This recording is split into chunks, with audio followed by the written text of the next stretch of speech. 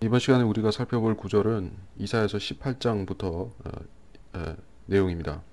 이번 13번째 강의 시간 이사야서 18장부터입니다. 에디오피아 강 건너에 있는 날개로 보호받는 땅의 화로다. 그것이 바다로 물 위에 갈대들로 만든 배들로 대사들을 보내며 말하기를 너희 빠른 사신들아 너희는 흩어지고 벗겨진 민족에게로 처음부터 지금까지 지독한 백성에게로 가라. 그 민족은 강물이 그 땅을 망쳐버린 벌받고 짓밟힌 민족이라 하는도다.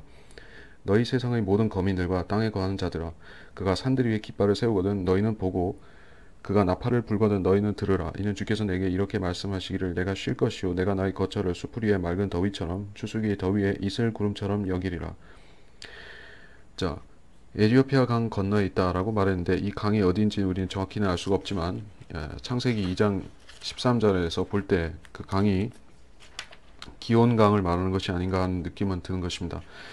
그래서 그 강이 예, 에디오피아 쪽으로 흐르고 있었다. 에디오피아의 원땅을 두르고 있었다라고 어, 창세기 2장 19, 13절에서 말씀하고 있기 때문에 그렇습니다. 근데 락한 박사는 에디오피아 강 건너에 있다고 했지 그것이 에디오피아는 아니라고 얘기를 하고 있습니다. 예, 그래서 그 땅은 에디오피아를 말하는 것이 아니라고 하는데 근데 여기서 어감상으로 볼 때는 갈대들로 만든 배들이 아, 그 나일강이나 그런 나일강의 지류를 통과하는 그런 배들이 아닌가 하는 느낌을 주는 것은 사실입니다. 네, 근데 이것을 어, 이스라엘이 어, 다시 모이는 마지막 때와 관련해서 설명하자면 이야기가 복잡해질 수밖에 없죠. 어, 물론 재림 때 이디오피아가 이스라엘을 대적하는 편에 서 있을 가능성은 있는 것입니다. 그것은 예, 에스겔 38장에서 에스겔 38장에서 강하게 암시가 되고 있는 그런 부분인데 에스겔 38장에 보면 곡이 이스라엘을 대적하기 위해서 군대를 어, 데리고 오는 것입니다. 그들이 데리고 오는 군대들은 어, 북방에서 오는 자들이 있고 또 동서남에서 오는 자들이 각기 있는데 어, 그들의 무리를 보면 에스겔 38장 5절에 보면 그들과 함께한 페르시아와 에디오피아와 리비아인데 그들 모두는 방패와 투구로 갖추었고 고멜과 그의 모든 부대인데 예, 북쪽 지방의 토갈마의 집과 그의 모든 부대이며 너와 함께한 많은 백성들이라 이러한 설명이 있습니다. 이것은 그 터키, 독일, 러시아 여러 나라들에 대해서 언급한다라고 스코필드 성경에서도 얘기를 했다고 합니다. 그래서 여기서 주목할 부분은 에디오피아라는 나라가 어쩌면 마지막 때에 중요한 역할을 하게 된다 하는 말씀이 여기 있는 것이요. 근데 여기서 에스겔 38장에서도 라칸 박사는 이것은 천년왕국 끝에 있을 일이지 예, 대환란 때 있을 일과는 상관이 없다라고 주석을 달았는데 뭐 그렇다고 할지라도 그게 절대적인 교리가 될 수는 없기 때문에 여기서 에지오피아 강에 대해서 말씀하는 이 구절은 에지오피아에 대한 내용이 될 수 없다라고 100% 장담할 수 없다는 것입니다. 그래서 저는 이것이 에디오피아와 관련이 있다라고 보고 얘기를 하겠습니다. 왜냐하면 그 어, 에디오피아의 무리들은 결국 이스라엘을 대적하는 역할을 하게 될 것이에요. 어, 그 나라가 처음 이스라엘과 관련을 민족이 이스라엘과 관련을 맺었던 사건은 어, 솔로몬 왕 때 시바의 여왕이 예, 이스라엘을 방문했던 그 사건이죠. 그 이후로 그 에디오피아라는 나라는 유대교를 받아들이고 그 나라는 그 토라를 받아들였던 것입니다. 그래서 그 결과 어, 사도행전에서 에디오피아의 그 여왕 칸다케의 내시 휘하 있는 내시가 어, 예루살렘을 방문해서 음, 결국 거기서 돌아가는 길에 가자로 지나 가자를 지나가는 길에서 사막길에서 어, 전도자 빌립을 만나서 복음을 듣고 예, 복음이 이디오피아로 전달되는 사건이 있었던 것입니다. 그래서 그 구약에도 그렇고 신약에도 그렇고 에디오피아라는 나라는 복음과 관련되고 유대인과 관련된 나라였습니다. 근데 항상 보면 예, 복음을 받아들인 나라는 처음에는 어, 성경적으로 어, 행하다가 나중에는 마귀적으로 바뀌고 그런 모습이 어, 많이 있는 것이요. 그래서 킹제임스 성경을 배출한 영국이라는 나라도 처음에는 어, 빅토리아 여왕이라는 그러한 어, 성경대로 믿는 여왕이 있었을 때에는 그 바른 성경을 가지고 전 세계에 복음을 전했다가 나중에 예, 그 RV 위원회가 들어서면서 그 개혁 성서를 개혁 성서를 가지고 온 세상을 변개된 성경으로 오염시키는 그러한 어, 통로가 되고 만 것입니다. 그래서 하나님께서 축복하셨던 도구로 어, 축복하시는 세상을 축복하는 도구로 쓰셨던 이방인일지라도 그들이 변심하게 될 때 하나님께서 그들을 버리시고 예, 그들이 오히려 마귀의 도구로 쓰이는 경우가 왕왕 있는 것입니다. 아, 에디오피아라는 나라도 많은 축복을 받았지만 또 어, 하나님의 은사와 축복을 받았지만 그들이 복음을 떠났기 때문에 또 이스라엘을 결국 대적하기 때문에 저주를 받는 것을 우리가 아, 보게 됩니다. 그래서 여기서 2절, 2절에서 흩어지고 벗겨진 민족, 처음부터 지금까지 지독한 민족, 어떤 알수 없는 한 민족에 대해서 얘기를 하고 있습니다. 이들이 에디오피아라고 본다면 어, 합당한 설명이 될지는 모르겠지만 에디오피아는 나라가 그렇게 처음부터 끝까지 흩어지고 벗겨진 민족 이렇게 아, 말하는 묘사에 어울리는 썩 어울리는 대상은 아니라는 것을 말씀드린 것이요. 그래서 이 묘사와 어, 에디오피아라는 나라의 역사가 적절하게 부합되지 않기 때문에 라카만 박사도 에디오피아는 아니고라고 얘기를 한 것이에요. 사실 에디오피아라는 나라는 오래도록 그 황제정을 유지, 자신만의 황제정을 유지하면서 종교도 자신만의 그 콥트교라는 종교를 고집해온 그런 어, 유별난 나라였던 것입니다. 이 에티오피아라는 나라가 워낙 독립성이 강한 나라였기 때문에 예, 그 이탈리아가 근세에 들어와서 무솔리니 휘하의 군대가 들어가서 거의 무력으로 정복하려고 아, 갖은 노력을 한 끝에 겨우 굴복을 시켰지만 그 식민 지배도 오래가지 않고 다시 독립한 것이요. 그래서 이 에티오피아라는 나라는 아주 어, 자주성이 강한 나라라는 것입니다. 그리고 예, 이스라엘을 100만의 군대를 거느리고 침략해왔던 역사도 갖고 있는 그런 나라인 것입니다. 그래서 대환란 때에도 이 에티오피아가 이스라엘을 공격하는 편에 설 것이다 하는 그런 예시가 있는 것입니다. 3절에 너희 세상의 모든 거민 땅과 거하, 땅에 거하는 자들아 라고 말했을 때 예, 이, 이 상황과 맞는 구절을 우리가 찾아보겠습니다. 신명기 32장 1절 신명기 32장 1절 아, 이 신명기 32장 1절에 보면 오 너희 하늘들이여 귀를 기울이라 그러면 내가 말하리라 오 땅이여 내 입의 말들을 들으라 이런 말씀이죠. 그래서 하늘들이여 귀를 기울이라 땅이여 들으라 하고 하는 것은 그 하늘과 땅에 하늘에 있는 그런 피조물들과 땅에 있는 거하는 거민들에게 들으라라고 말씀한 것이요. 그래서 어, 이 18장 3절에서 말씀하는 이 구절은 온 세상 어, 백성들의 거민들에게 전파되는 그러한 포고령이라는 사실을 우리가 알 수 있습니다. 이런 소식이 전파되는 것은 환란 때 몇 차례 있는데 어, 첫 번째는 그것이 예, 천사들이 천사가 한 천사가 날아가면서 전파하는 영원한 복음이 있습니다. 영원한 복음이라는 것은 하나님을 두려워하고 아, 그분만을 섬기라라는 것이 하나님을 두려워하고 예, 그 찾아보겠습니다. 요한계시록 14장입니다. 요한계시록 14장 예, 6절부터 또 내가 보니 다른 천사가 하늘 한가운데로 날아가는데 그가 땅에 사는 자들과 모든 민족과 족속과 언어와 백성에게 전할 영원한 복음을 가지고 큰 음성으로 말하기를 하나님을 두려워하며 그분께 영광을 돌리라. 이는 그분의 심판의 때가 이르렀습니다. 이런 말씀이 있습니다. 하나님을 두려워하고 어, 그분을 영광을 돌리며 경배를 드리라는 포고가 내려지는 것입니다. 그러니까 온 세상의 모든 백성들이 이 말씀을 듣고 순종할지 아니면 거부할지 결단을 내려야 한다는 말씀을 하신 것이에요.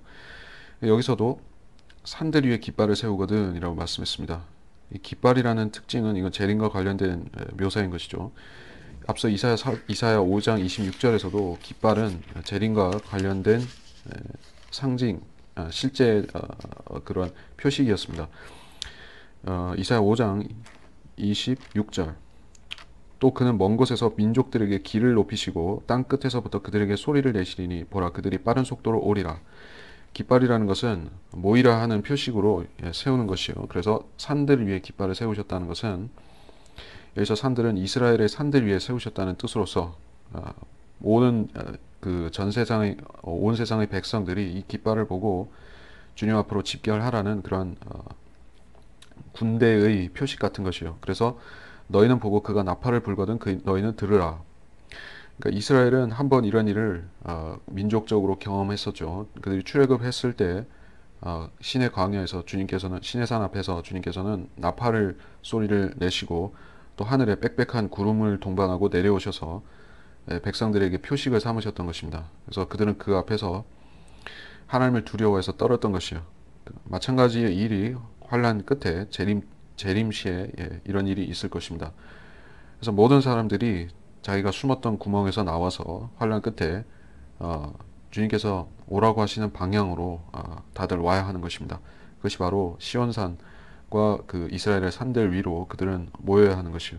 4절 이는 주께서 내게 이렇게 말씀하시기를 내가 쉴 것이요 내가 나의 거처를 숲을 위에 맑은 더위처럼 추수기의 더위에 이슬 구름처럼 여기리라 추수하기 전에 봉오리가 활짝 피고 신포도가 꽃 속에서 익어갈 때 그가 가지 치는 낫들로 잔 가지들을 치고 큰 가지들을 잘라 제할 것이며 그들을 산들의 새들과 땅의 짐승들에게 남겨주리니 아, 새들이 그들 위해서 여름을 나고 땅의 모든 짐승들이 그들 위해서 겨울을 나리라 하셨음이니라. 자, 이것은 비유적인 말씀입니다. 왜냐하면 나의 거처를 수풀 위에 맑은 더위처럼 성경에서 무엇처럼이라고 할 때는 그 대상에 빗대어서 어, 그 사물을 사물이나 사람을 묘사하는 것이요. 그래서 거기 빗대는 대상은 아, 비유적인 장치로 쓰인 것이죠. 그래서 하나님께서 쉬시는데 그것은 안식의 천년, 천년왕국을 말씀하는 것이죠. 그 천년왕국에서 쉬시는데 주님께서는 주님이 거처를 어디에 정하시는가? 수풀 위에 맑은 더위처럼 추수기 더위에 이슬 구름처럼 여기리라 라고 말씀하고 있습니다. 수풀 위에 맑은 더위라는 것은 초여름의 아, 날씨같이 예, 상쾌한 날씨처럼 그리고 추수기 더위에 이슬 구름처럼 예, 추수기의 더위에 예, 추수꾼들이 그 더위를 식히기 위해서 바람을 쐬야 되는데 어, 그런 그 시원한 바람처럼 언덕 위에서 체질을 하고 또 곡식을 베고 할 때 그 시원한 바람이 불어오는 것처럼 주님께서 그렇게 사람들과 동행하신다는 것입니다. 그것이 천연왕국 때 주님께서 어, 이 땅에서 인간들과 동행하시는 방식이 그렇다는 것입니다. 그래서 우리가 주님께서 에덴 동산에서 아담과 어떻게 교제를 나누셨는가, 어떤 방식으로 나누셨는가 하는 것을 찾아보면 이 구절이 쉬, 쉬 이해가 될 수 있을 것입니다. 네. 창세기 3장에 보겠습니다. 창세기 3장 8절 그들이 날이 시원할 때 동산을 거니시는 주 하나님의 음성을 듣고 아담과 그의 아내가 주 하나님의 면전에서 피하여 동산 나무들 사이에 자신들을 숨겼더라. 그래서 날이 시원할 때, 그, 그 오후 어, 해가 질녘 날이 시원할 때, 바람이 불 때 동산을 거니시는 주 하나님의 음성이라고 했습니다. 하나님께서는 마치 에덴 동산에서 인간들과 교제를 나누시기 위해서 정기적으로 어, 그 아담과 이브를 찾아오셨듯이 예, 천년왕국에서도 그렇게 이 그, 그 마귀와 이 악, 악인들이 제거된 또 전쟁이 제거된 세상에서 인간들과 그런 방식으로 어, 교제를 하신다. 그들을 만나 주시는데 예, 거기에 대해서 어, 또 묘사가 있습니다. 추수하기 전에 봉오리가 활짝 피고 신포도가 꽃 속에서 익어간다. 그래서 이 봉오리가 핀자, 봉오리가 핀다고 하는 것은 어, 적그리스도의 번성과 관련이 있는 내용입니다. 그것에 대해서 찾아보겠습니다. 아, 우리가 그 구절을 찾아보겠습니다. 에스겔 7장 10절 그 날을 보라 보라 그 날이 왔도다 아침이 나갔으며 막대기는 꽃 피었고 교만이 싹 텄도다 막대기가 꽃이 피었다 예, 그 봉오리가 활짝 피었다는 것은 적그리스도가 어, 전성기를 맞이했다는 것입니다. 그는 3년 반 동안 예, 권세를 넓히다가 그 끝에 절정을 누릴 것이요. 그래서 어, 그 적그리스도의 권세가 극에 달했을 때 그때 하나님께서 그를 치시고 하루에 멸하시는 것이다. 그리고 적그리스도의 멸망은 마치 신포도가 꽃 속에서 익어갈 때 라는 에, 묘사가 되는 것입니다. 이 신포도라는 것은 소돔의 포도와 관련이 되는 것입니다. 소돔의 포도 신명기 32장 32절에 그들의 포도나무는 소돔의 포도나무요 고모라의 들에서 나온 것이라 그들의 포도는 쓸개 포도니 그 송이들은 쓰며 이스라엘을 하나님께서는 하나님의 포도원이라고 비유하셨습니다. 그리고 예, 솔로몬의 노래에 보면 포도원이 등장하는데 그 포도원은 이스라엘 집인 것입니다. 그리고 주님께서는 자신이 예수님께서는 자신이 비유로서 이스라엘을 포도원이라고 말씀하기도 하셨습니다. 자, 그래서 이스라엘은 하나님께서 심으신 좋은 포도들로 채워진 그런 아름다운 포도원이었던 것입니다. 그래서 그 포도원을 감독하기 위해서 선지자들을 보내시고 왕들을 세우셨음에도 그 하나님이 율법을 무시하였으므로 마침내 아들을 보내서 그들에게서 소출을 요구하고 그들의 어, 포도원이 합당한 소출을 내기를 주님께서 요구하셨을 때 그들은 오히려 주님을 죽여서 버렸던 것입니다. 그래서 하나님께서는 그 포도원을 이방인들에게 넘겨주시고 어, 그 포도원에서 하나님이 어, 원하시는 열매가 아니라 원하시는 열매가 아니라 신포도 즉 소돔의 포도요 쓸개 포도가 자라게 하신 것입니다. 그래서 여기서 어, 신포도가 익어간다고 할 때 이 신포도는 역시 어, 그 적그리스도를 말하는 것입니다. 그가 가지치는 낫들로 잔 가지들을 치고 큰, 큰 가지들을 잘라 제할 것이며 가지치는 낫이라고 할 때 이것은 심판의 도구로서 말씀하신 것이요. 그래서 이방인들이 어, 그참 올리브 나무에 돌 올리브 나무 가지로서 접붙임을 당한 것이라고 접붙임을 받은 것이라고 로마서에서 예, 말씀하고 있는데 어, 그 마찬가지로 하나님께서는 어떤 어, 올리브 나무든 어, 포도나무든 어떤 나무에 어, 외부의 가지를 접붙이시는 것이요. 그리고 그 가지가 증식하게도 하시고 많아지게도 하시고 그러다가 없어지게도 하시는 것입니다. 그래서 주님께서 무화과 나무를 저주하셨기 때문에 그 무화과 나무가 주님의 저주로 기적적으로 말라버렸었죠. 그리고 주님께서는 그 말라버린 무화과 나무가 다시 어, 싹이 나고 열매를 맺게 되리라고 예언하신 것입니다. 그리고 그 일이 이스라엘에 일어난 사건이 바로 1948년에 있었던 이스라엘의 국가적인 회복이었습니다. 그래서 이 나무와 가지의 관계는 어떤 사람이나 왕국을 말할 수가 있는 것입니다. 여기서 문자적인 의미는 적그리스도의 왕국과 그의 큰 나무의 권, 나무와 같은 그런 권세를 말하는 것입니다. 그래서 그의 권세와 그 자체가 제거되는 것을 여기서 말하고 있습니다. 6절에 그들을 산들의 새들과 땅의 짐승들에게 준다. 예, 실제로 이 새들은 독수리들을 말하는 것입니다. 땅의 짐승들은 그 새들과 아울러서 그들의 시체를 뜯어먹는 어, 그 야수들을 말하는 것이요. 즉 이것은 재림의 광경과 직접 연관되는 것으로서 계시록 19장 17, 18절에 있을 사실을 어, 로 설명되는 것입니다. 새들이 그들 위해서 여름을 나고 땅의 모든 짐승들이 그들 위해서 겨울을 나리라. 그들의 시체가 하루 만에 처리되는 것은 아니라는 것입니다. 예, 우리가 어, 에스겔 38장이 아닌 39장을 보게 되면 거기에 예, 아마겟돈 전쟁에 대한 말씀이 있죠. 에스겔 38장이 어, 에스겔 38장이 천년왕 끝에 있을 전쟁이라고 일단 보고 있고 어, 39장은 아마겟돈 전쟁이라고 여겨지고 있습니다. 그래서 39장에 보면 그 시체 처리하는 방법에 대해서 말씀하고 있습니다. 11절에 39장 11절에 보면 이스라엘에게 무덤으로 한 장소를 주리니 바다 동편에 있는 행인들의 골짜기라 그들은 곡과 그의 모든 무리를 그곳에 매장하리니 그곳 그들이 그곳을 하몬곡 골짜기라 부르리라. 이스라엘 집이 그들을 일곱 달 동안 매장하여 그 땅을 정결케 하리라. 말씀이 있고 어, 17절에 보면 또 너는 모든 기딸린 새와 들이 모든 짐승들에게 이르라 모여오라 내가 너희를 위해 베푸는 나의 재물 즉 이스라엘의 산들 위해서 베푸는 큰 재물 사면에 모여서 너희는 살을 먹고 피를 마실지어다 이것이 바로 아마겟돈 전쟁과 어, 적그리스도의 군사들이 시체를 먹는 그 장면을 말씀한 것이요. 그래서 어, 그 시체들이 최소한 일곱 달 동안 남아 있고 어, 계속해서 매장해서 땅을 깨끗하게 만든다는 말씀이 있죠. 음, 그래서 그 구절이 이, 그 에스겔 39장이 이 본문 6절과 연결이 된다라고 말한 것입니다. 7절 그때 흩어지고 벗겨진 백성의 어, 만군의 주께 선물을 가져오리니 처음부터 지금까지 지독한 예, 백성 곧 강들이 그 땅을 망쳐버린 벌받고 발 아래 짓밟힌 민족으로부터 만군의 주의 이름을 두신 곳 시온산으로 선물을 가져오리라. 아, 그래서 이 7절 같은 경우에는 이 흩어지고 벗겨진 백성의 정확한 어, 정체를 우리가 확정할 수가 없기 때문에 이들이 누구다라는 것이 확정되지 않은 이상 그 어떤 선물을 가져오며 또 어, 그 시온산에 선물을 가져올 때 그들이 어떤 결과를 갖게 어떤 아, 대접을 받게 되는가 이런 것은 우리가 짐작으로만 남는 것입니다. 그러나 과연 짐작해 보건대 이들이 정말 에티오피아 사람들이라고 하면 이들은 확실히 천년왕국 때 하나님께 어, 재물을 어, 선물을 가져오는 마치 시바의 여왕과 같이 어, 천년왕국 때 솔로몬은 왕국 솔로몬 왕국에 해당되는 어, 그 이스라엘 왕국으로 재물을 가져오고 선물을 가져오는 그 어, 에티오피아 사람들로 여겨지는 것입니다.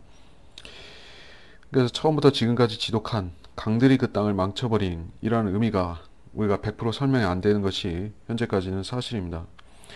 그러나 우리가 성경의 예언들이 어, 모두 성취되고 있는 시대를 현재 살고 있기 때문에 어, 이러한 일도 조만간에 우리가 이들이 에디오피아라든지 에디오피아가 아니면 어떤 백성이 다른 족속 누구라든지 이런 것이 드러날 어, 그런 시기에 살고 있는 것은 사실이므로 우리가 이러한 성경 예언의 성취가 멀리 있다고 생각하지는 말아야 할 것입니다. 그래서 18장을 여기서 끝내고 19장으로 넘어갔습니다. 이집트에 대한 엄중한 말씀이라 보라 주가 빠른 구름을 타고 이집트로 오시리라 이집트의 우상들이 그의 면전에서 떨며 이집트의 마음이 그 한가운데서 녹으리라 내가 이집트인들로 이집트인들을 대적하도록 선동하리니 모든 사람이 자기 형제를 대적하여 싸울 것이며 모든 사람이 자기 이웃을 대적하고 성읍이 성읍을 대적하며 왕국이 왕국을 대적하여 싸울 것이라 이집트의 영이 그 가운데서 쇠약해질 것이요 또 내가 그 계력을 멸망시킬 것이라 그러면 그들은 우상들과 마술사들과 부리는 영을 지닌 자들과 마법사들에게 구하리라. 또 내가 이집트인들을 잔인한 군주의 손에 넘기리니 흉포한 왕이 그들을 다스릴 것이며 예, 흉포한 왕이 그들을 다스릴 것이며 다스리리라 주 곧 만군의 주가 말하노라 물들이 바다로부터 없어지겠고 강이 다하여 마르리라 이집트에 대한 심판인데 문제는 우리가 언제 일어날 누구에게 일어날 심판인가 하는 것이 우리의 관심사가 되겠죠. 그러니까 일단 역사적인 관점에 적용하자면은 이것이 합당하게 적용될 만한 역사적인 사례는 아직까지는 없는 것입니다. 이집트의 강이 여기서 말라버린다고 했는데 그런 일이 있었냐 하는 것이요. 물론 심한 가뭄이 들면 나일강이 마를 수는 있습니다. 뭐, 근데 역사적으로 어, 설명하자면 나일강은 어, 마르기가 힘든 것이요. 왜냐하면 거기에 어, 어, 이집트 그 현대 이집트에 와서 거기에 아스완 댐이라는 댐을 건설했죠. 원래는 그 어, 건기와 우기에 따라서 강이 줄어들었다 넓어졌다 그렇게 하기 때문에 농사 짓는 데 있어서 좀 애로 사항이 있었던 것입니다. 어, 그래서 농사를 널리 짓기가 어려웠었는데 그 댐을 지음으로 인해서 이집트의 국력이 신장된 것이요. 그 강의 수위가 높아지고 어, 수량이 풍성해졌기 때문에 그렇습니다. 일정해지고 풍성해졌다.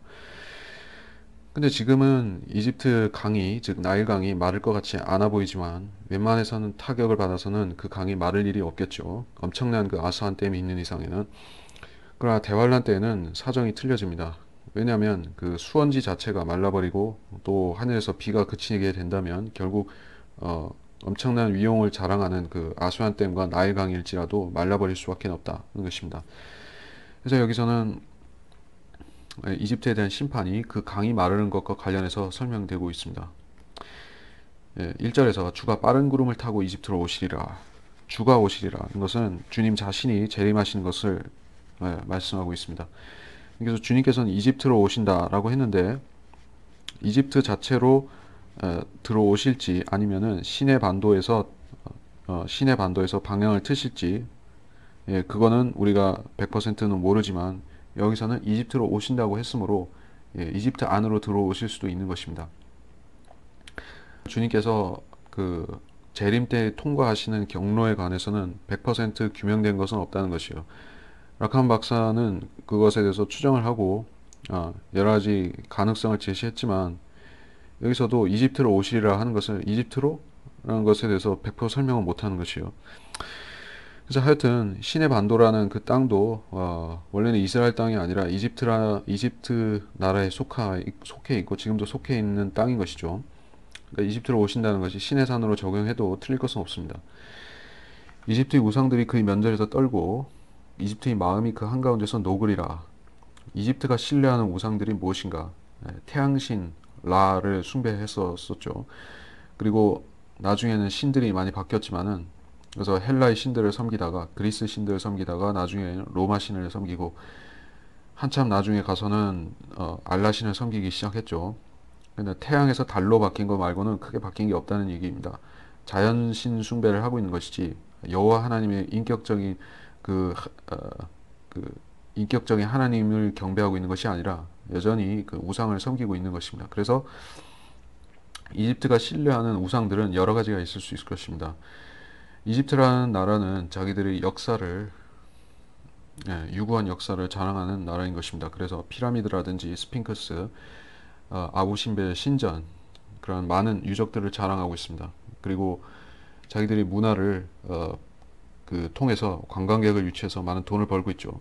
그래서 이집트의 우상들은 지금은 무엇이 됐냐면은 어, 사실상 그 돈인 것이요. 모든 신들의 원천은 근본적으로 돈의 신, 멤몬이죠. 멤몬을 섬기고 있는 것입니다. 그리고 그 이집트의 우상들이 그 면제에서 떤다는 것은 어, 그들이 돈벌이를 위해서 어, 사람들 앞에 자랑스럽게 전시해 놓은 자기들 조상들의 무덤 그리고 그 미이라들 스핑크스 이런 유적들이 엄청난 지진이 재림 때 일어날 그 엄청난 주, 주님께서 일으키시는 지진으로 인해서 떨며 무너지며 이런 것을 우리가 생각해 볼 수가 있을 것입니다. 이집트의 마음이 그 한가운데서 녹으리라. 예, 그러니까 주님께서 이집트 한가운데로 들어오셨든 아니면 그 주변을 지나가시면서 땅을 흔들어 놓으시든 간에 이집트 땅은 큰 지진이 있을 것이고 어, 그들이 어, 그 세계에 자랑하기 위해서 또 자기 돈을 벌기 위해서 만들어 놓은 그런 관광지들은 황폐화된다는 것입니다. 이집트라는 나라는 예, 그래요. 지금은 정치가 혼란스럽고 여러 가지 테러가 일어나고 하기 때문에 사람들이 가기가 조금 꺼리끼는 곳이 되었긴 하지만은 어, 그래도 IS라든지 이런 테러가 빈발하기 전에는 사람들이 많이 가는 유명 어, 관광지였던 것입니다. 그래서 한국 사람이 중동에 가게 되면 어, 그 기독교인들은 대부분 성지 순례로 이스라엘을 가는데 이스라엘을 어, 가게 되면 그 가까이 있는 이집트도 어, 보통 가는 것입니다. 근데 그 루트가 아, 그 이집트에서 이스라엘로 넘어가는 루트가 예, 과거에는 제한이 있었는데 지금은 서로 그 장사를 위해서 터 놓은 것이요.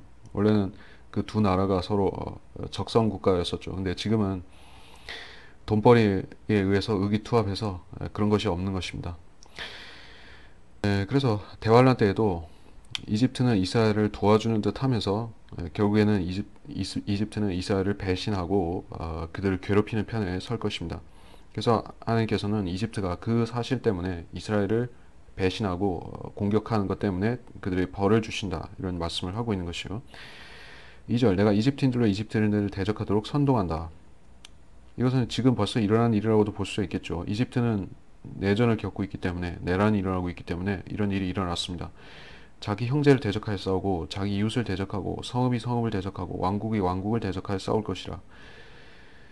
예, 물론 여기서 왕국이 왕국이라고 했을 때 이것은 이집트 이상의 이야기를 한다고 어, 생각이 됩니다. 왜냐하면 예, 마태복음 24장에 보게 되면 거기서 나라가 나라를 대적하고 민족이 민족을 대적하고 그러한 대목과 연결이 되지 않는가 하는 것이요. 그래서 마지막 때에 있을 마지막 날들에 있을 현상이자 또 대환란 때 연속해서 일어날 현상이기도 한 것입니다. 예, 우리가 그 구절을 잠깐 찾아보면 마태복음 24장 7절 민족이 민족을 대적하고 나라가 나라를 대적하여 일어나겠으며 기근과 역병과 지진이 여러 곳에서 있을 것이니 이 모든 것들이 고통의 시작이니라 라는 말씀인 것입니다. 그래서 어, 이집트의 혼란과 이집트의 정정 불안은 현재 일어나고 있는 그 사실이 바로 대환란 때 있을 일의 어, 작은 예표라고 볼 수가 있을 것입니다. 3절 이집트의 영이 그 가운데서 쇠하게질 것이요. 또 내가 그 계략을 멸망시킬 것이라. 그러면 그들은 우상들과 마술사들과 부리는 영들을 지닌 자들과 마법사들에게 구하리라. 3절에서 이집트의 영이 그 가운데서 쇠약해진다 라고 말씀하고 있을 때 여기서 이 스피릿 영이라는 의미를 하나님께서는 어, 그 여러 가지 의미로 말씀하셨을 수가 있는 것입니다. 다니엘서에 보게 되면 그리스를 관장하는 천사가 있고 페르시아를 관장하는 천사가 있고 이런 식입니다. 예, 그래서 그 공중 권세가 아, 그 민족을 다스리고 있는데 그들은 다시 말해 영적인 존재이자 영이라고도 불릴 수가 있는 것입니다. 하늘에 있는 악한 영, 또 이스라엘을 관장하는 미카엘 같은 선한 영, 즉 천사가 있고 그래서 이집트의 영이 쇠약해진다는 것은 이집트의 세력이 쇠약해지는 것과 똑같은 말인 것입니다. 또 하나님께서는 교회들에 대해서도 일곱 교회를 일곱 개의 초, 일곱 개의 그런 어, 불 켜진 불 켜진 촛대로 말씀하고 계시죠. 그것은 즉 영인 것입니다. 촛대에 불이 켜져 있다는 것은 영이 어, 활동하고 있다는 것이요. 그것이 꺼진다는 것은 영이 죽었다는 것입니다. 그래서 어떤 사람의 생기, 활기는 확실히 그 사람의 영의 상태에 놓여 있는 것이에요. 자, 구원받지 못한 사람의 이 자연인의 영이 죽어 있다는 것은 즉 무슨 뜻이냐? 그 사람의 어, 겉으로는 살아있는 것처럼 보이고 활동하고 어, 사람들 사이에서는 활발하지만 하나님과의 관계에 있어서는 전적으로 무능력하고 죽어 있는 그러한 상태를 아, 말하는 것입니다. 그것이 영이 죽어 있다는 것이요. 그렇다고 해서 그 자연인의 영이 전적으로 아무것도 못하는 것은 아닙니다. 그는 그 영을 활용해서 어, 다른 영적인 존재들, 즉 천사나 또는 악령이나 이런 어, 영적인 존재들과 교류를 가질 수는 있습니다.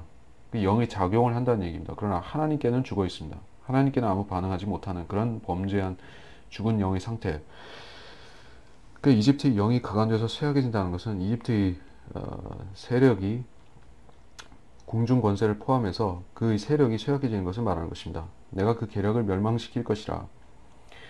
이집트는 항상 어, 떤 전쟁을 벌이든지 다니엘서에 보게 되더라도 그 마지막 부분에 보더라도 어, 이집트는 책략으로 항상 어, 전쟁을 하는 것입니다. 그냥 전쟁을 하는 경우가 없고 이집트는 항상 먼저 책략을 세웁니다. 하나님께서는 이집트의 그러한 어, 교묘한 속성을 알고 계시기 때문에 파로와 그 군대를 멸하실 때 하나님께서도 지, 하나님께서도 교묘하게 하신 것이요. 그래서 이스라엘 사람들을 어, 나갈 데 없는 외딴 어, 그 바닷가 광야로 인도하신 것도 어, 이스라엘 사람들이 코너에 몰렸다는 그러한 인상을 줌으로 해서 이집트인들이 오산하도록 만들기 위해 하신 것이요.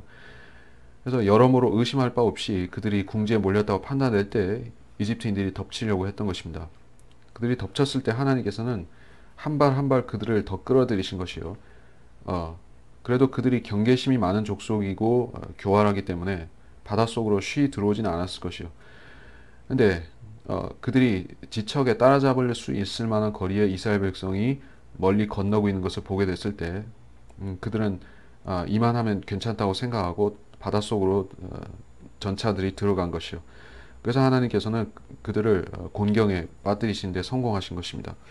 이처럼 하나님께서는 자기 교회를 아무리 백성들이 자랑한다 할지라도 어떤 나라가 어떤 나라가 아무리 전술과 전략을 잘 세우고 전쟁을 많이 했기 때문에 경험이 많아서 싸움을 잘 싸워 이길 것 같지만 가령 미국 같은 나라도 그렇고 영국이라든지 러시아라든지 중국 수많은 전쟁들을 치렀기 때문에 전술과 전략에 밝은 나라라고 볼 수 있겠죠.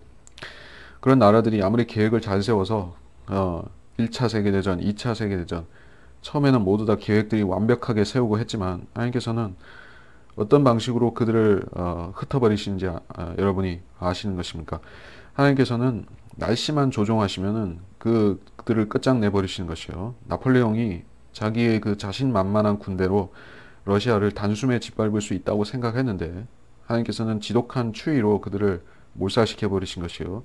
히틀러가 자기의 그런 어, 위용이 당당한 그런 엄청난 군대로 러시아를 또 휩쓸려고 했을 때도 하나님께서는 혹한을 가져오신 것입니다. 또 어떤 경우에는 어, 물이 고갈돼서 그 군대가 전멸되도록 또 만드시고 사막에서 갈 길을 잃어버리게도 만드시고 어, 사막의 폭풍도 쓰시고 지진도 쓰시고 하나님께서는 무엇이든지 쓰실 수가 있습니다. 근데 사람들은 인간 대 인간의 싸움만 생각하기 때문에 전쟁에서 자기 생각대로 될 것 같이 착각하다가 하나님이 계략에 휘말리는 것이요. 그래서 어, 마술사들과 마법사들을 대해서 이야기를 하고 있습니다. 예, 지금은 해당 안 된다고 생각할지 모르지만 어, 모든 종교 안에는 마술과 마법이 예, 그 들어 있는 것입니다.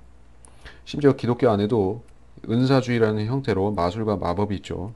마술과 마법이라는 것은 어, 그 종교의 원래 정식 경전에 명시되지 않은 것들인데 여기서 암암리에 통용되는 그런 비술 같은 것이요.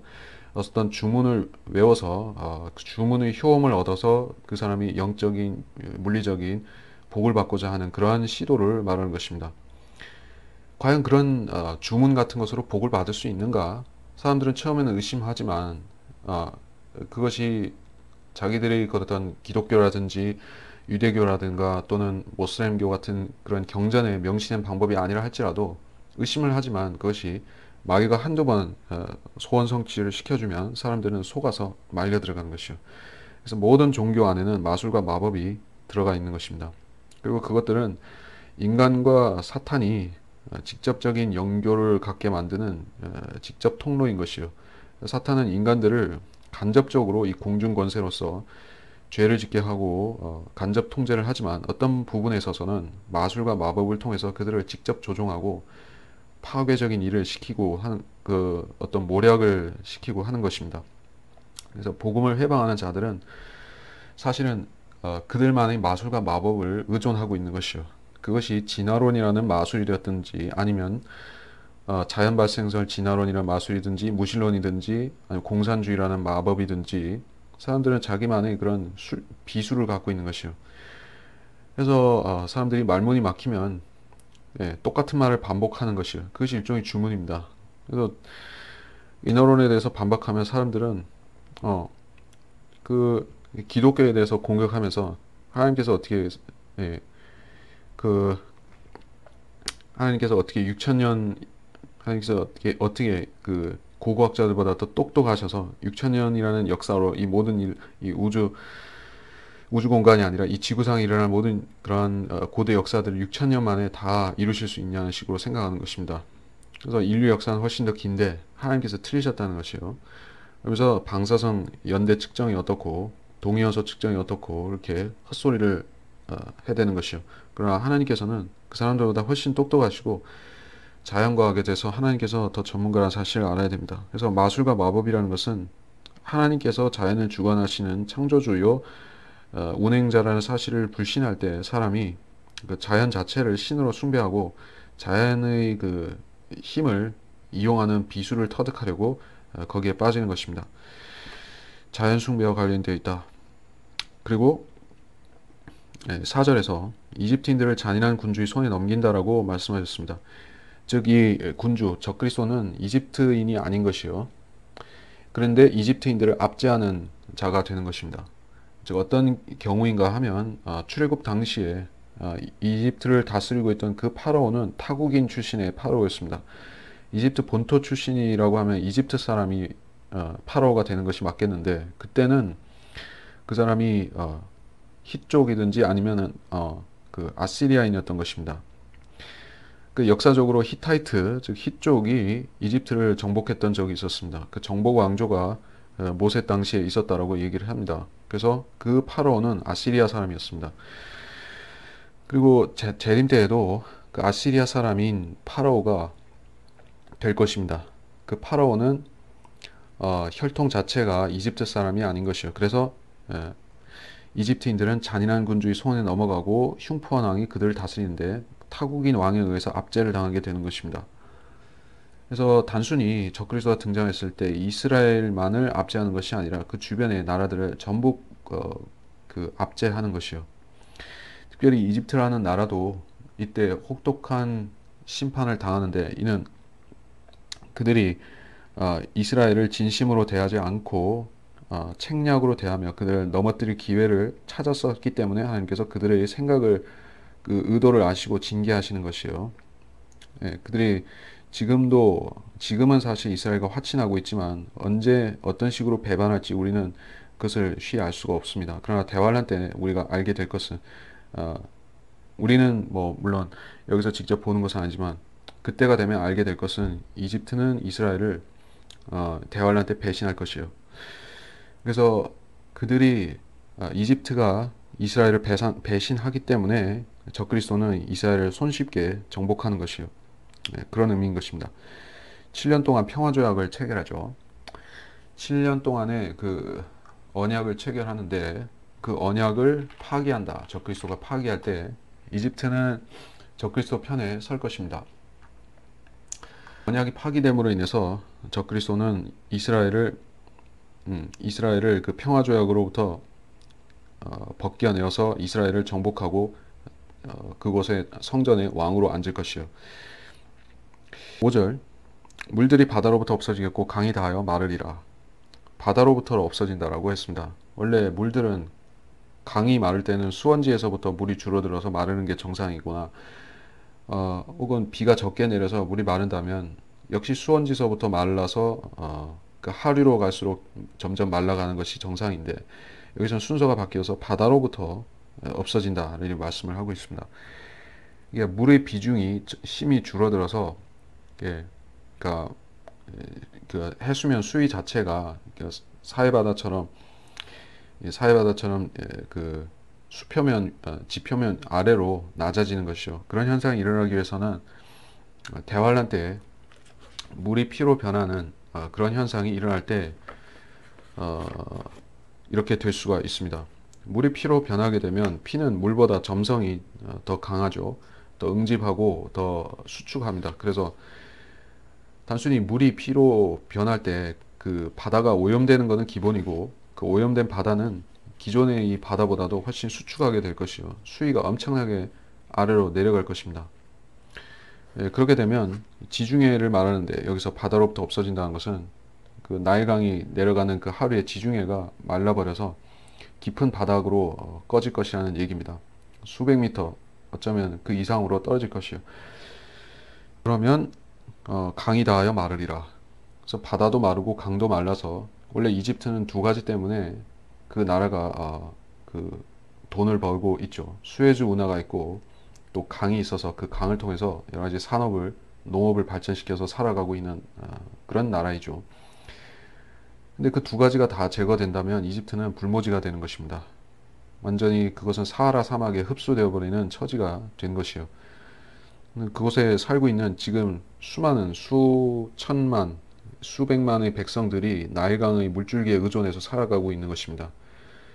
예, 그런데 하나님께서는 그들이 의존하는 젖줄인 나일강을 말려버리시고 그들이 의존하는 마술과 마법과 그 알라신의 마술과 마법을 말려버리시는 것이요. 그래서 그들은 더 이상 도와줄 자가 없게 되는 것입니다.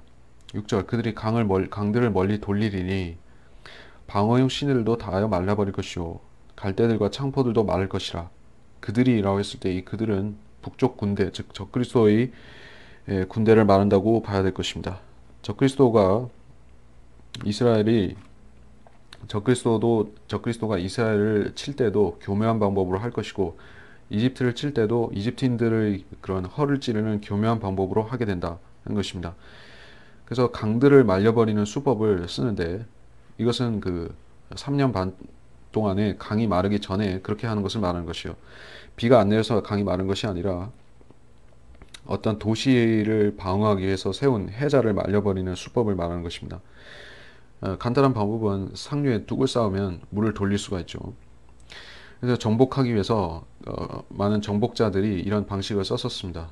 바빌론이 베사사랑 때의 바빌론이 정복 어, 함락 당할 때도 이런 방식이 어, 방식으로 성이 뚫렸었습니다. 이거는 고전적인 얘기라고 생각할 수가 있습니다. 지금이야 전쟁을 이런 식으로 안 하죠. 어떤 어, 도시를 어, 도시를 차단시키고 할 때는 주로 하늘에서 폭탄을 어, 폭격을 한다든지 아니면 어, 거기에 뭐 가스를 터뜨린다든지 이런 식으로 하지 속전속결로 하지 강을 말리고 이렇게는 안 하는 것입니다. 근데 적그리스도는 아, 알겠지만 적그리스도는 아주 어, 최악의 지혜를 지혜와 마귀적인 지혜와 꾀를 갖고 있는 것입니다. 우리가 그 적그리스도의 정체에 대해서 좀 더 알아보겠습니다. 그 관련된 구절이 다니엘 8장 23절입니다. 뭐 다른 구절도 또 있겠지만 다니엘 8장 23절 그들 왕국의 나중 때 범죄자들이 가득 차게 되면 무서운 용모를 하고 난해한 문장들을 깨닫는 한 왕이 일어나리라. 무서운 용모를 하고 보통 이런 사람은 전사나 투사로 생각하죠. 말하자면은 그 어, 프로 레슬링 선수같이 생긴 것이요. 예, 그런 무시무시해 우락부락하게 생긴 마이클 타이슨처럼 생긴 그런 사람이 어, 그 아인슈타인 같은 두뇌를 가졌다고 생각해 보면 되는 것이요. 사실 두 가지 이미지가 잘 조합이 안 되는 것입니다. 아인슈타인 같은 사람의 타입과 어, 헐크 호간이나 혹은 그런 마이크 타이슨 같은 그런 어, 짐승 같은 인간의 타입이 조화가 안 되죠. 근데 적그리스도는 두 가지 다 갖춘 것이에요. 슈퍼맨 같은 그런 그런 우락부락한 용모와 어, 또는 헐크 같이 생긴 용모와 거기에 에, 다니엘 같은 머리를 가진 것이요. 또는 솔로몬 같이 어, 지혜로운 생각을 가진 것입니다. 그래서 그가 짜는 계략은 모두 통하는 것입니다. 그는 아마도 생각한데 그는 어, 고전적인 어, 모든 전법들에 다 통달한 사람인 것이요. 손자병법은 기본이고 모든 예, 고래의 전법들 아, 이런 그 예, 독일과 러시아와 미국과 영국과 이런 나라들이 가르치는 전법들 있죠. 그 사관 학교에 가서 배우는 것들이 있죠. 근데 적그리스도가 그런 거를 안 배우는데도 그는 모든 것을 다 통달한 것이요. 사람들 그런 사람을 그 전쟁의 신이라고 부를 것입니다. 왜냐하면 그는 싸워서 지는 적이 없기 때문에 역사상 싸워서 한 번도 패하지 않은 장수라고 하면 어, 몇 명 없는 것입니다. 그 중에 어, 영국의 크로멜이라는 그런 재상이 있었습니다. 예, 그는 음, 그 청교도 군대를 입고 싸울 때 항상 그 하나님께 기도하고 하나님께 지혜를 구하면서 싸웠기 때문에 그래서 지지 않았습니다. 근데 마귀적인 지혜로 한 번도 패하지 않고 온 세상을 정복하는 데 성공하는 그런 대단한 존재가 있으니 그는 바로 적그리스도인 것입니다. 그래서 적그리스도가 이집트를 멸하려고 할 때 그는 예, 가장 아, 그 미련한 것처럼 보이면서도 가장 효과적인 방법을 쓸 것입니다. 그것은 어, 전쟁사에서 흔히 사용되었던 수공, 어, 물을 말려버리든지 넘치게 하든지 이런 수법을 쓰는 것이요. 1절 시내가의 초장들과 시내옥이 초장들과 시내가에 심은 모든 것은 말라서 없어질 것이며 아무것도 더 없으리라. 자, 그, 그 백성을 기근에 빠뜨리는 것입니다. 어부들도 탄식할 것이요 시내에 낚시를 던진 자들도 모두 슬퍼할 것이며 물에 그물을 치는 자들도 힘이 빠지리라. 세마포를 짜는 자들과 그물을 짜는 자들이 치욕을 당할 것이라. 또 고기를 잡으려고 수문들과 방죽들을 만드는 자들이 낙담하리라. 자, 세 구절, 네 구절에 총 다섯 구절에 걸쳐서 강들과 강들을 말려버리고 이런 이런 일에 대해서 자세하게 묘사하고 있기 때문에 이것은 중요한 예언이라는 것을 우리가 알 수가 있습니다. 그래서 적그리스도는 이러한 일을 과연 자기 기술만을 통해서 할 것인지 아니면 사탄의 힘을 빌릴 것인지 그것은 우리가 생각해 봐야 될 것입니다. 사탄은 물을 입에 담고 토할 수 있, 토해서 한 그 지역을 어떤 지역을 홍수를 발생시킬 만큼 어, 위력을 갖고 있습니다. 그것에 대해서 우리가 어, 계시록 12장에 잘 나오는 것입니다. 계시록 12장 관련 구절을 보면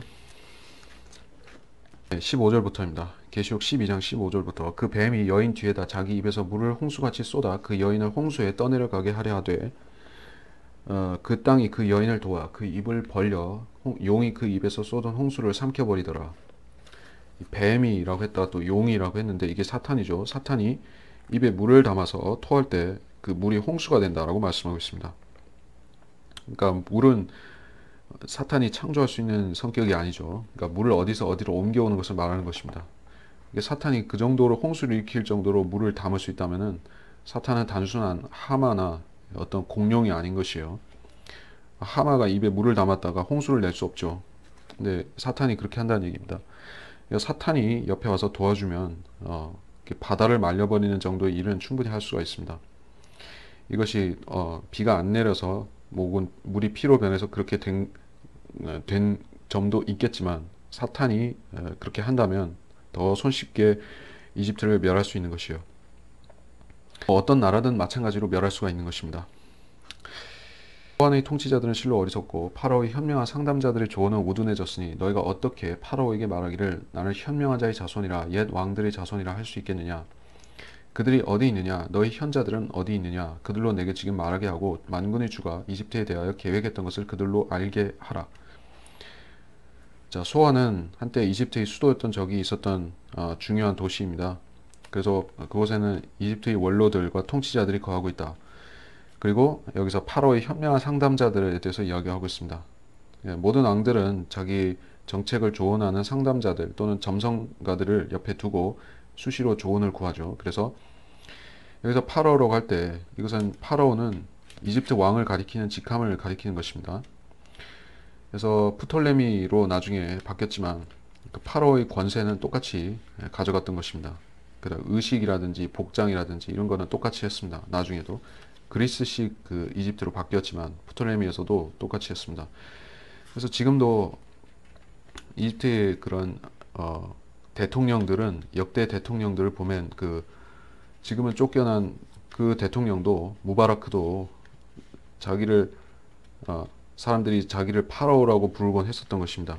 왜냐하면 그 사람이 파라오처럼 어, 절대 권세를 절대 권력을 추구하는 그러한 사람이었기 때문에 파라오라고 불렸고 지금의 군사 독재를 하고 있는 그 LCC라는 그 자도 어, 사람들이 파라오라고 욕을 하기 시작하는 것이요.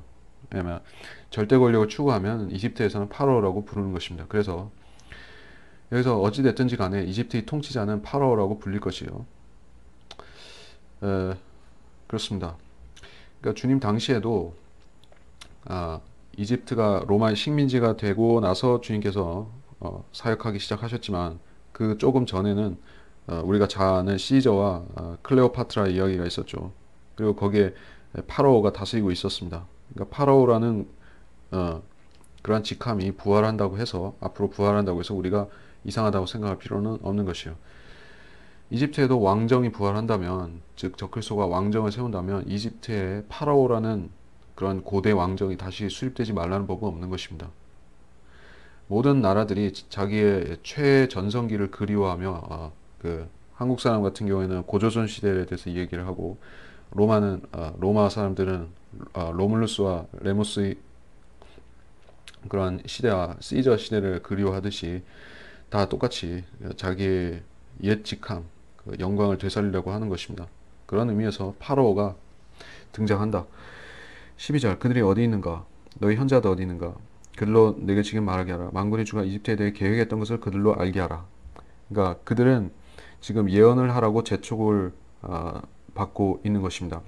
재촉하는 그 주체는 여기서는 분명히 이사 문자적으로 이사야이고 또 아, 성도인 것입니다. 환란 성도이든지 성도가 아, 말하는 것입니다. 현명한 자의 자손이라 옛 왕들의 자손이라.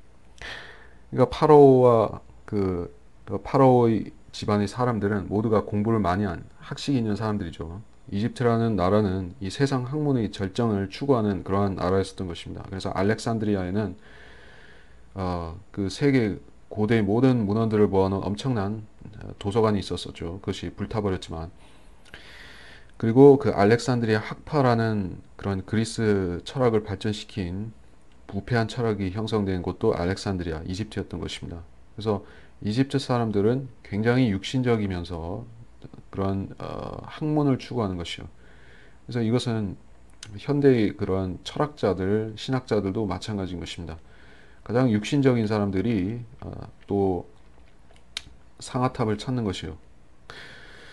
사람들의 문제는 자기들이 지식이 육신적이고 영적이지 못하다는 것을 깨닫지 못하고 어, 그들의 지식은 하늘의 일들을 볼 수 없는 지극히 땅만 보는 지식이라는 것입니다. 그래서 그들은 주께서 이집트라는 나라에 대해서 계획하신 일을 전혀 알지 못하는 것입니다.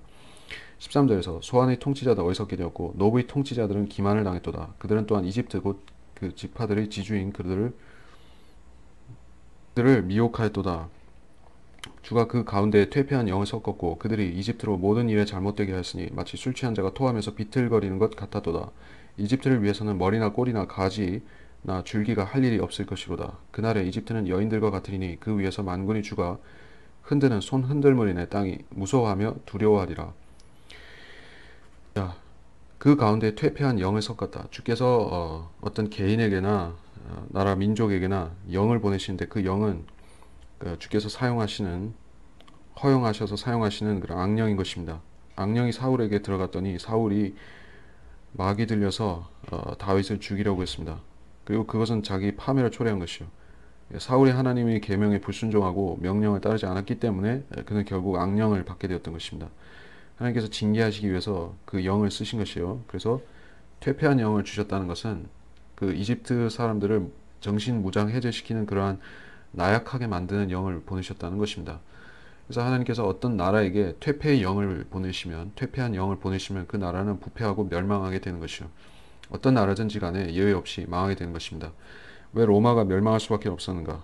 그들 가운데 안락과 퇴폐와 그런 어, 무사 평안의 영이 들어갔기 때문에 그들은 외적을 막을 수 없게끔 무장 해제가 된 것입니다.